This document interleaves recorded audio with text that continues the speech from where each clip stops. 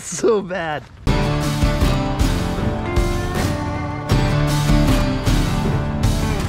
Hey everybody, just a short, simple video today. It's just this dead fir. So they tied a swing set up here. I don't know if you can see this very well or not, but they tied a chain to these two fir trees and this one died and this one didn't um, uh, many years ago but there's a swing set and they were like uh, you know we'd really like to keep the swing set they say it's been dead four or five years. They're not totally sure. You know can you climb it? Can you preserve the swing set? And this was actually like exactly for me it was like 50 50 like man can i climb that? That's pretty crusty. You know you can see there are no needles left on the branches. They're just you know skeleton branches. We can fall the tree that way but there are fences over there. We'll demolish the fences you know? So i told the guy you know yikes. Uh, well and also we've got house garage another garage or uh, there are three buildings back there. So obviously it can't go that way anyways, I was telling him, you know, I'll, I'll, tell you what, I'll try to go up it and get it done. We'll see if, if it's too uncomfortable for me. I'm gonna come down and we're just gonna fall this thing from the ground and it's gonna destroy everything it, it hits. And so they're totally understanding about that. So I am gonna climb up there, see how it feels. Cause it's right on the border of like, is this still sound enough to climb? But I'll know once I go up there cause I'll be able to tell, you know, how deep are my spurs sinking? How much is the top wiggling? I've also gotta be careful cause there are other trees around when I take this top. Potentially could bust off a bunch of branches, have a bunch of shrapnel come back and hit me. So it's kind of right on the borderline. I think it's still climbable.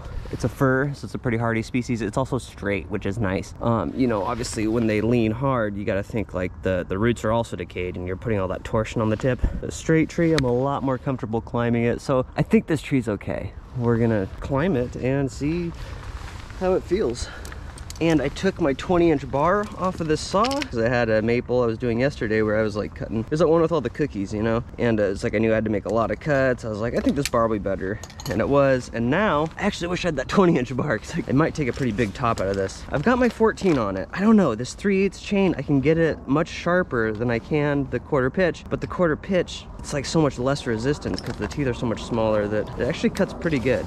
I just can't decide which one I like better but for this, I, I do wish I had that 20 inch bar. See, already I can just, I can just hear the bark. I don't know if you can tell, but I can just hear like this bark is separating from the wood on the inside and I can see it sounds different. This thing's been dead for a while. Doesn't sound good. These are the long spurs. Look at that. They're Oh, by the way, $20 off JK boots. Promo code TREESON.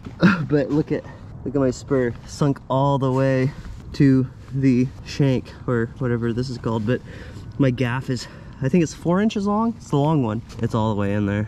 So this isn't feeling very good so far. I'm only 20 feet up. Maybe it gets better up here. oh, whoa, what do we got here?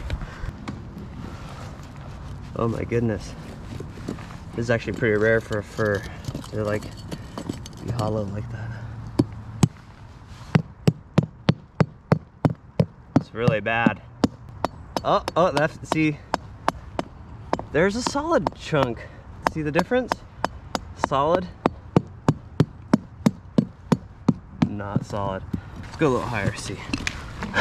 Maybe it gets better.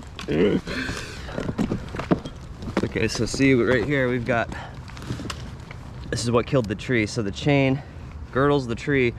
The tree only, look at how much that branch is wiggling. This tree's bad. So what happens is the tree, the heartwood, the, the, the tree only transports nutrients on the very outermost layer of wood. The inside of the tree is actually kind of just there for structural integrity. It's not transporting nutrients up and down. It's just the outside layer. So when you girdle the tree like this, you constrict it, you could, uh, it, it chokes off, it's like choking off the vascular system of the tree, you know? So even though this isn't touching the inside of the tree, well, not the inside of the tree is not doing anything. All the action's happening on the outside. So it chokes the tree and that's why this thing's dead. Wow. Okay. I don't know if you're gonna see this, so I'm just gonna shake my body, see if this jiggles. Yeah, look at that. So I got like 80 feet above me. I can jiggle the top just by, it's too dangerous. It's just too dangerous. I gotta, I, I can't do it. I can't, cause I climb up there. So here's the other issue. I can't, if I climb too high, I could break the wood out, right? Cause it's too brittle. But if I cut it here, I'm putting all the weight of that tree up there is pushing on the stem where I make my cut. The most dangerous spot to cut a dead tree like this is in the middle because I'm putting all this force on a rotten stump. And as this big old top goes over, it's pushing as the face cut closes. It's pushing backwards on the thing I'm standing on. So this would be a really dangerous spot to make the cut. This is where I'd have to make the cut though. And you know, nobody wants to tell the customer I can't do something, but that's what I'm gonna do. It's too sketchy. I can't go any higher. I mean, you hear that? It's crazy. Yeah. I hate to be the bearer of bad news, you know, but. Like we said, you're the decider. yeah, when you see stuff like that, that's like, I'm not surprised at the decision. yeah, thank you. So yeah, sometimes you know what, it's just it's just not worth it's really just not worth it. I mean, I have to climb past all this and this is uh it's no good. no, just kidding. Who knows what's in there? Um it's bad. It's really bad. The fact that I can like jiggle this tree with just the slightest movement, you know?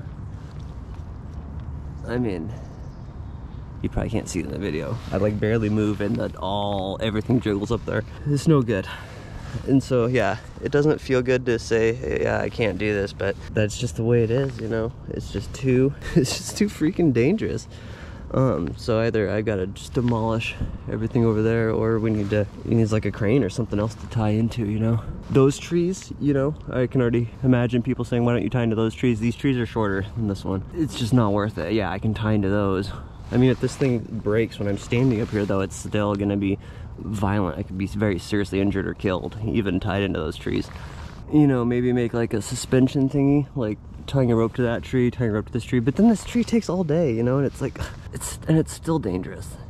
So I just don't want to do it. You know, I just don't like the idea of. You want to be the guy that can get stuff done, but I, I don't want to be the guy that gets hurt just because I'm too prideful to say, you know, I, I can't do that. I want to see what the inside looks like.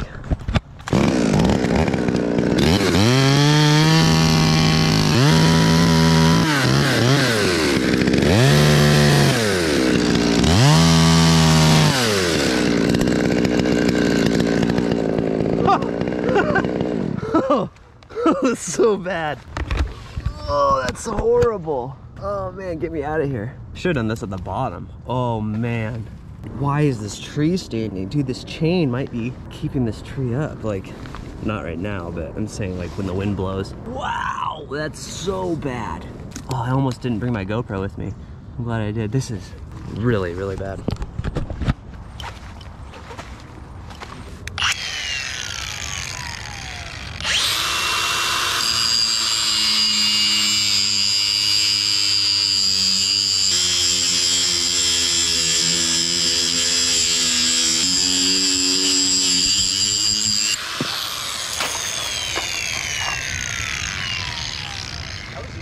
Was a first for me.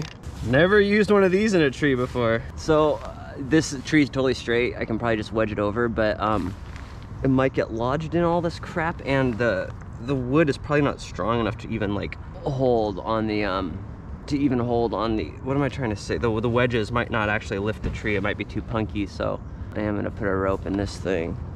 I'm gonna climb a little higher, just uh, put the rope up there. It's really, you know, the, your body weight up here is one thing, but the force is a whole other thing. Once you start cutting, you know, oh, it's so bad. It's so bad.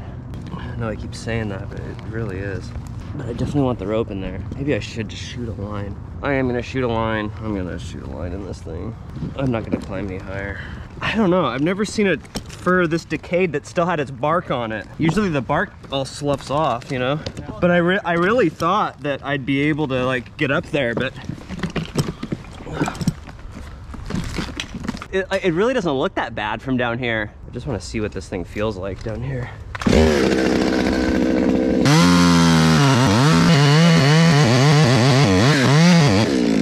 See that? That's good. See that light color? Yeah, there's solid wood down here. So that that's a really that's a relief.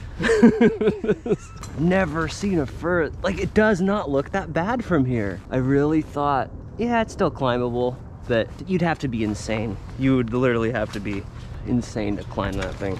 So here's my big shot. I'm gonna shoot a line up there. I made this like trigger thing. Wesspur sells this like trigger thing, and I just used a little piece of rope, pulley to break the prusik, and a prusik to hold the progress and they sell this little trigger thing. I had another section of pull, I can actually get even more um, out of it. But this is the trigger that I sort of came up with. Um, I think they just sell this. They didn't sell like a kit or anything. You just, but it's literally just a short piece of rope, dog leash snap thingy. This short prusik here, prusik here, pulley here.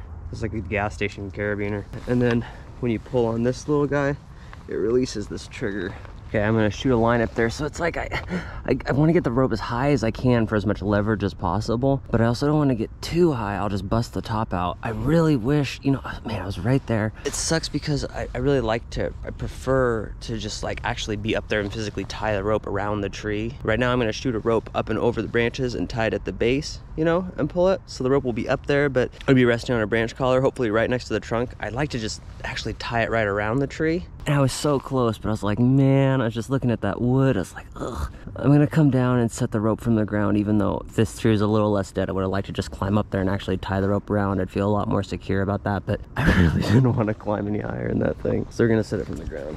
I am really happy that I just bored in here, you know, 14 inches and hit solid wood. That makes me feel a lot better. At least I got one thing working for me here. I mean, this there's not a whole lot working here. Like I have to destroy destroy this guy's property. But it's better than destroying the house and it's cheaper to fix, you know, this, I mean, you know, it's, it's cheaper to fix the fence than to get like, if I got like a, even a 76 foot bucket in here, I'd be halfway up the tree. It wouldn't even be safe. You'd have to get a big crane in here. This is the safest way to do it he's gonna have to fix the fence, but it's cheaper than getting a crane. This is a 16 ounce. Um, you know, maybe I'll do a smaller weight. I'll get more height out of a lighter ball.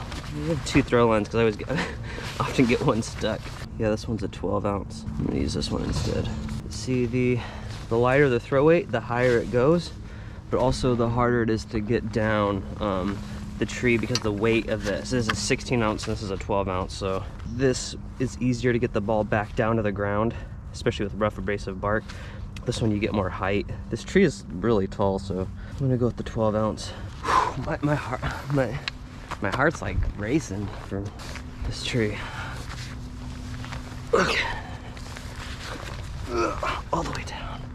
Man. So I've got to try to get it as close to the trunk as possible. Might take me a few shots. Usually does.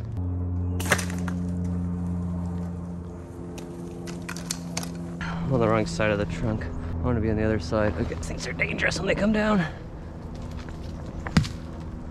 I actually really like the height I got with that, but I just need to be on the left side of the trunk. It just looks better. I like the trigger because you can like, you got more time to sort of relax with your shot. You know, you're not like straining trying to hold.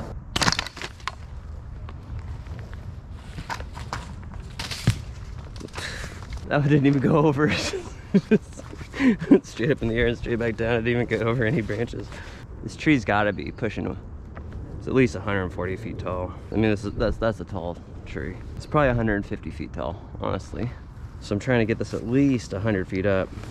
Yeah, about, about two thirds to three quarters of the way. That way I've got good leverage, but I'm also still on somewhat beefy wood. All right, one, two, three. Oh, I think I got it. Oh, please go to the ground. Oh, see, I got a good shot. I just need to get the ball to the ground. It just, that bark is just rough. It just doesn't want to slide down it. All right, come on, baby. Oh, maybe. No. See, I'm not over the, on the right side of the tree. All right.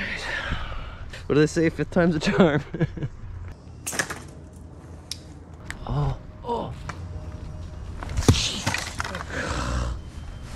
climb this sketchy tree and almost take myself out with throw ball. I hit the trunk. I hit the trunk and so it just bounced back off. These throw balls are dangerous, dude.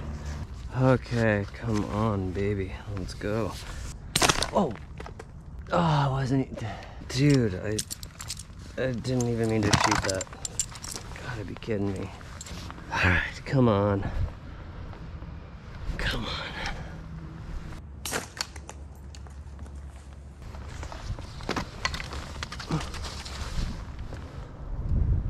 Oh, man.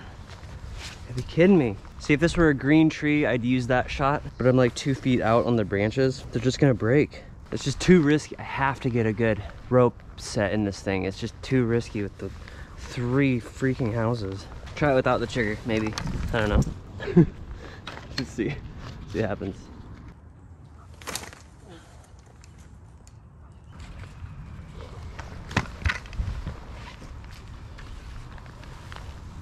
Why won't it come down?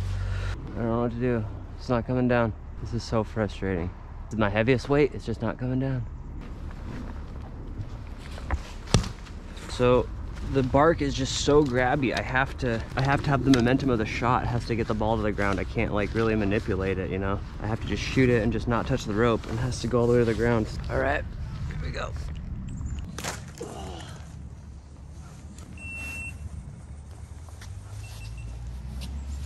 my GoPro died. I think I got the shot. My GoPro died. Okay, I think I got it. I didn't get it quite as high as I wanted, but I'm gonna at least pull the rope up and see how it looks. I think it might be good enough. I hope so, man. I'm really tired of shooting this thing.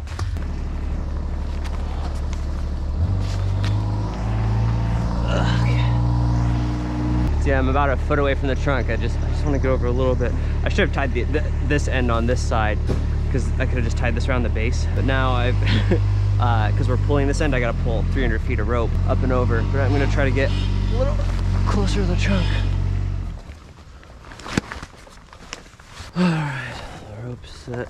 You'd think getting the rope set would be a relief, but it just means I'm closer to making this cut, so it just makes me a little more nervous. Oh my goodness, that tree moves so much. Rope's halfway up, I'm barely gonna pull on it, see if you can see. Look at, oh my goodness, you probably can't see it, dude, it moves Oh man, it moves a lot. Oh my goodness. That tree is so decayed. It means that the rope is going to help a lot. Just pull it over, which is good, but it also means that that thing, that wood is bad in there. Dude, I'm nervous. I don't, I'm not like trying to play this up for YouTube or anything. I'm like seriously nervous about this, you know? It's just the nature of tree work, man. It's just so, the, the stakes are so high, like, just the house, you know what I mean? Those three buildings, like, I think two houses and one garage. It's intense, dude, which is what I love about it, but it's also what's like, I don't know. It is what I love about it, honestly. It's gets the blood pumping. You feel alive, but it's, it's really scary. Yeah, and I promise I'm not even like exaggerating just because I'm filming it or nothing. I'm scared of this tree, you know? I'm not scared of getting hurt. I'm a little nervous about like branches breaking and stuff when I pull up, but I'm terrified of the tree going the wrong direction, you know? It's like you only have so much control when the trees are dead and crunchy. Just laid all my rope in horse poop. Wasn't even looking at the ground. it's just laying across a bunch of horse turds. We're uh, about ready to start cutting. Got the rope set. We're gonna prune this vine maple back. It's better to just prune it now because inevitably I'm gonna damage it. It's better to prune it and have a clean cut than hit it and peel it all out, you know?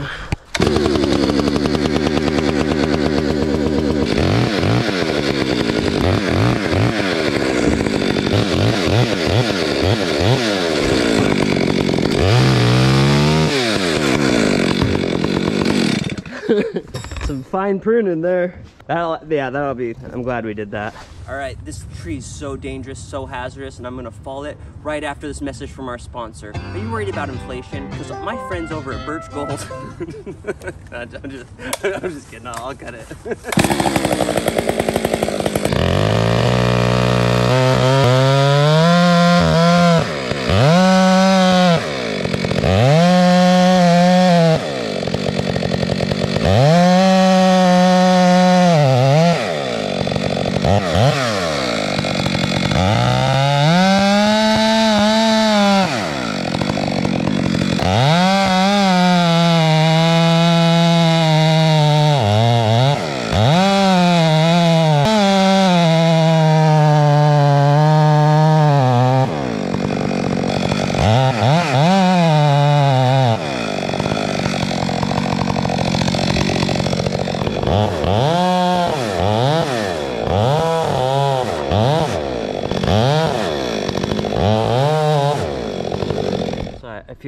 just making sure that I'm lined up here, but I'm gonna come back and when I'm cutting, I'm gonna be looking down my sight. I'm gonna try to cut as straight as possible, not rocking the saw back and forth, just try to get my sight aimed right in the same spot where that rope is, and I'm just gonna cut straight to try to keep the hinge wood consistent.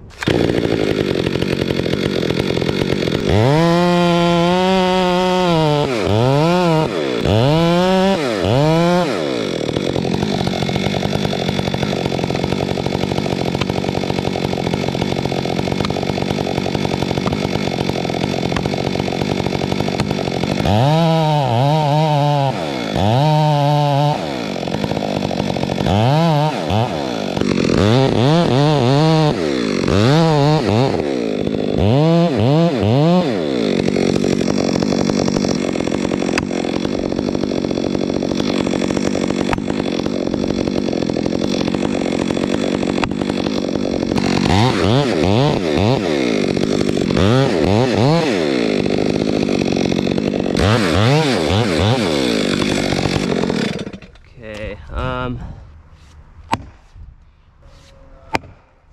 Okay, yeah, see how easy that bounces off? That means I've got resistance now, like, cut a little more.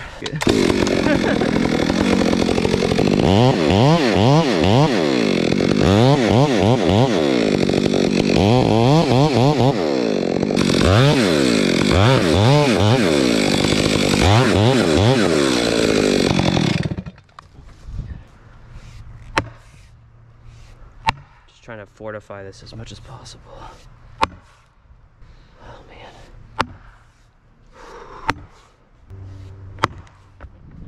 Yeah, so I'm watching the movement. I'm also I keep I look up after every bang to make sure no limbs are coming back down at me.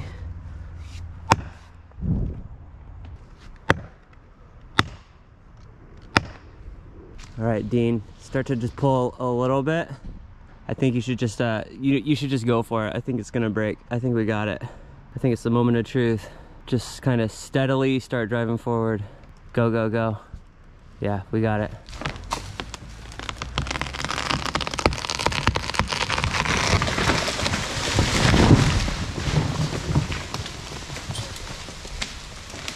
Woo! Oh, man, am I glad that's over. Look at that tree. Whoa. Oh man, it's I just can't believe this. I cannot believe this thing still had bark on it. Wow. No, oh, nothing's damaged. No way. oh man. I can't believe it. I can't believe it. Look at nothing's damaged. You're about two inches too far Yeah. to sorry, sorry, Dean. I can't believe that. Oh, that is such a relief. What a rush. Yeah, look at that. This thing is all. look, look at where the, the bend in the hill is. Like the bark just went flying up. I mean, tree's so decayed. I've never seen a tree this rotten that didn't look that rotten from a distance. It really didn't look that bad from the ground. Yeah, just in the very center, a little bit of solid wood. My heart's pounding. I mean, that was the goal, you know, but but it was such a tight shot. I was like, I didn't think. Yeah, I thought there'd be damage. Man. So it really didn't take that much to lift because of the tractor, but you know, I started with this one because I wanted to get it in, but I didn't want to hit my bar. And then I got this one in, which it did hit my bar a little bit. I had to pull my saw out and cut the tip of this off to get back in there. And then got my room, switched to the 12 inches. And it wasn't like about lifting it super high. Like this will obviously give you more lift stacking it, but it was more like trying to keep the tree supported as it went over. And once it started to, I didn't get any movement with this wedge. Here's where the, the green wood starts. I didn't feel any with this one either. But when I got this one in, I got to about here, thunk, thunk, I started feeling it grabbing the tree. And this one was grabbing pretty good too. But it was just trying to keep it stable until, look at this, this old branch right here. But the once it started to move in the right direction, I felt good about the hinge. I said, just go for it. And tractor pulled it over. Man, that was, that was intense. Yeah, and see, I was, you know, like I said, I was looking at my sights and I was cutting up the hinge wood. I'm pretty happy with how consistent that is. From the second I stuck my spur into that thing, I was like, oh man. Look, it like decayed from the outside in. So that makes sense, right? Because it was girdled. So it makes sense the sapwood died first and the So I might actually get some wood yeah, that's like pretty good stuff. Obviously, this is punk. Yeah, see, that's weird. Kind of solid on the inside. Down here, up there, there was is not whatsoever. You saw that thing just blow up into a billion pieces up there. But that's why when I came down, I bored in, and I when I got these like bright colored chips, you know, um, I knew there was solid wood in there. So I was like, uh, you know, it felt relief when I bored in and got some nice looking chips. I think they're green. I'm colorblind. I get green and brown mixed up, but I think they're green. Um, but anyways, I could just tell they're lighter colored. So, and then yeah, about a third of the way, pretty thick hinge. The thicker the better in this case, right? Like if it were green, I could cut a really small. If this were a green tree, he wouldn't have been able to pull that over with that much hinge. You know, it would have held on. Um, and I would have cut more hinge, but because it's dead, the wood is weaker, so I leave more wood for more control. And once I felt like I got it with the wedges holding it in place and it was moving, the rope was really just like holding the tree in place, right? While I'm doing all my stuff. And then when I feel like I've got the tree where I want it and I feel like I'm in control, I say, okay, go for it. I feel like my hinge is good, which you can't see inside the tree. You gotta guess. I feel like my hinge is good. My wedges are grabbing wood. There's solid wood in there. I've got directional control. So yeah, just just go for it. Oh, and Gordy's calling me. So glad that's over. That I was I, I was I was scared of that one. I mean, just just the obstacles around it, you know, and you don't have X-ray vision. You don't know what the tree looks like on the inside when you're cutting it. I just love this stuff. I just wouldn't want to do anything else for a living. I just it just it never gets old. All right, tree number two today. It's just like a big cedar. It's got some barbed wire growing in it. Gotta get rid of that. But uh, you can see it's got a big dead top in it. This tree started dying from the top down. Uh, got some power lines right here. Ordinarily, I'd be a little nervous about a tree like this, but after the last one, this this one's like no problem. Um, but same thing is probably gonna damage the fence coming down. I don't really want to climb it and piece it out. Get the dead top power lines, everything. So just gonna notch and drop it with some wedges. Should go pretty good.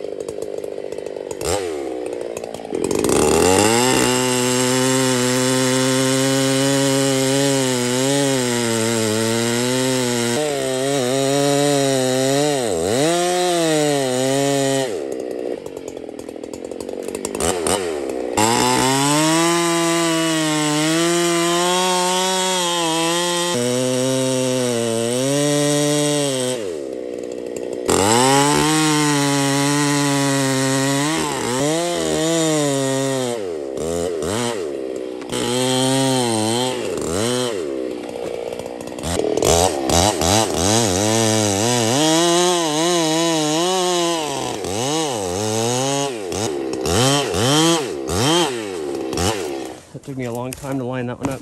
I went conventional on this one instead of Humboldt just because there's more flare down here. I thought it would be easier to line everything up and then I just kept taking, I was like way short with my bar and I just, just kept taking slivers off until I was lined up. It, it took me a while. It took me like 15 minutes. Not that proud of this one, but I think it's okay now. I got it pretty clean. It's actually a huge tree. That's a 36 inch bar. So this is actually like a really big tree.